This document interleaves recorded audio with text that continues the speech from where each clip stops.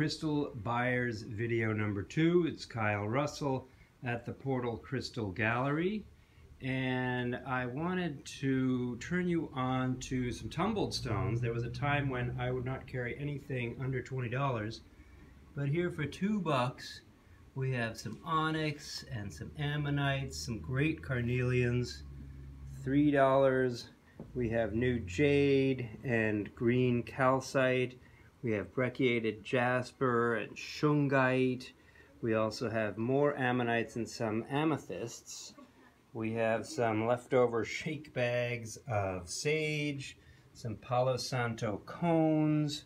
We have $4 items including, uh, let's look, uh, black tourmaline, red jasper, orange calcite, lavender fluorite, other fluorite colors, carnelian, chocolate moonstone, clear quartz, lapis angelite, selenite, palo santo sticks, some pretty little citrines.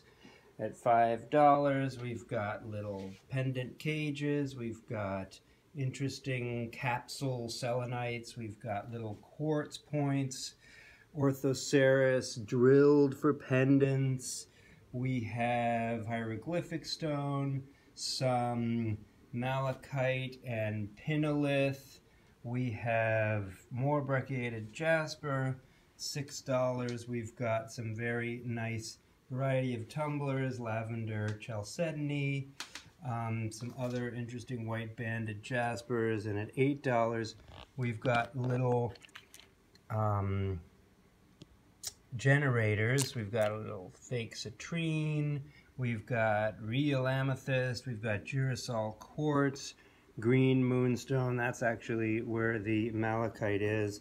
Some little aragonite starbursts, lepidolite, tiger iron hematite. And we even have over on our main table a variety of tumblers that show up in the $10 zone rhodonite, we have titanium, aura, window, amethyst, aquamarine, selenites. We have got some cool aventurine discs, um, some of the word stones.